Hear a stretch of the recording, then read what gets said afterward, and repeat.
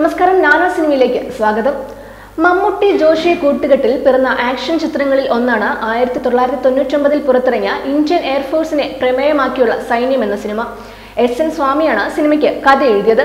മമ്മൂട്ടിക്ക് പുറമെ വിക്രം ദിലീപ് മുകേഷ് മോഹിനി പ്രിയാരാമൻ എന്നിവരും ചിത്രത്തിൽ പ്രധാന കഥാപാത്രങ്ങളായി അഭിനയിച്ചിരുന്നു.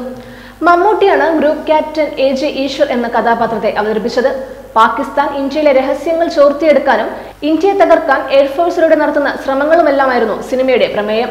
അക്കാലത്ത് പ്രേക്ഷകർക്ക് പ്രിയപ്പെട്ട മമ്മൂട്ടി സിനിമകളിൽ ഒന്ന് തന്നെയായിരുന്നു സൈന്യം. സൈന്യം സിനിമയുടെ സെറ്റിൽ നിന്നുള്ള ചില രസകരമായ സംഭവങ്ങൾ ഇപ്പോൾ തുറന്നു പറഞ്ഞിരിക്കുകയാണ് നടൻ മുകേഷ്. രാഷ്ട്രീയ പ്രവർത്തനങ്ങളും സിനിമയ്ക്ക് പുറമെ സജീവമായി മുകേഷ് ചെയ്യുന്നുണ്ട്. അതിനിടയിൽ അടുത്തിടെ സിനിമാ ജീവിതത്തിലെ അനുഭവങ്ങൾ കഥ പറയും പോലെ ആളുകളിലേക്ക് എത്തിക്കാൻ ഒരു യൂട്യൂബ് ചാനൽ കൂടി അദ്ദേഹം ആരംഭിച്ചിരിക്കുകയാണ്. മുകേഷ് സ്പീക്കിംഗ് എന്നാണ് ചാനലിന് പേരിട്ടിരിക്കുന്നത്. എല്ലാ വീഡിയോകൾക്കും മികച്ച പ്രതികരണമാണ് ലഭിക്കുന്നത്. നടന്ന സംഭവങ്ങൾ നർമ്മം കലർത്തി മുകേഷ് പറയുന്നു എന്നതിനാൽ തന്നെ നിരവധി പ്രേക്ഷകരെയും ഇപ്പോൾ യൂട്യൂബ് ചാനലിലൂടെ മുകേഷിന് ലഭിക്കുന്നുണ്ട്. മമ്മൂട്ടിക്കൊപ്പമുള്ള സിനിമാ ജീവിത അനുഭവങ്ങളാണ് മുകേഷ് ഇപ്പോൾ പറയുന്നത്. സൈന്യം സിനിമയുടെ ചിത്രീകരണത്തിനായി നടി പ്രിയാരാമന്റെ മുഖത്ത് പൊള്ളലേറ്റ രംഗത്തിൽ മേക്കപ്പ് ഡാൻസ് സംവിധായകൻ ജോഷി ആവശ്യപ്പെട്ടപ്പോൾ സിനിമയിലെ മൂന്ന് മേക്കപ്പ് മാൻമാർക്കും അത് സാധിച്ചില്ലെന്നും ഒടുവിൽ പ്രശ്നം പരിഹരിച്ചത് മമ്മൂട്ടിയുടെ ബുദ്ധി ഉപയോഗിച്ചാണെന്നുമാണ് മുകേഷ് പറയുന്നത്.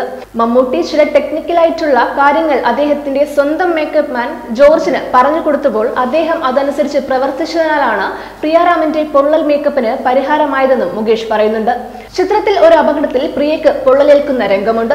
സിനിമയിൽ മൂന്ന് മേക്കപ്പ് മാൻമാരുണ്ടായിരുന്നു അവരെ വിളിച്ചിട്ട് സംവിധായകൻ ജോഷി പൊള്ളൽ എങ്ങനെയാണ് മേക്കപ്പ് ചെയ്യുന്നതെന്ന് കാണിക്കാൻ പറഞ്ഞു. നിങ്ങൾ നിങ്ങളുടെ കയ്യിലിട്ടിട്ട് വന്ന് കാണിക്കാനാണ് പറഞ്ഞത്. ഹൈദരാബാദിലെ സെറ്റിൽ പിന്നെ ഒരു മേക്കപ്പ് മത്സരമാണ് നടന്നത്. ഒന്നാമത്തെയാൾ മേക്കപ്പുമായി എത്തി. അത് കണ്ട് ജോഷിയേട്ടൻ പറഞ്ഞു പ്രിയയ്ക്ക് കുഷ്ടമല്ല പൊള്ളനാണ് ഏറ്റതെന്ന്. കൊണ്ടുപോടോ എന്ന് പറഞ്ഞ് അയാളെ പറഞ്ഞു വിട്ടു അടുത്തയാൾ മേക്കപ്പുമായി വന്നു. വരട്ടുചൊറി അല്ലെങ്കിൽ കരപ്പൻ. എടാ പൊള്ളലാണ്. എടുത്ത കള. അത് കണ്ട് ജോഷിയേട്ടൻ പറഞ്ഞത് അങ്ങനെയായിരുന്നു. മൂന്നാമത്തെ മേക്കപ്പ് മാൻ മത്സരത്തിൽ നിന്നും പിന്മാറി. ഇനി എന്ത് ചെയ്യാനാണ് എന്ന് പറഞ്ഞിരിക്കുമ്പോഴാണ് മമ്മൂക്ക വന്നത്.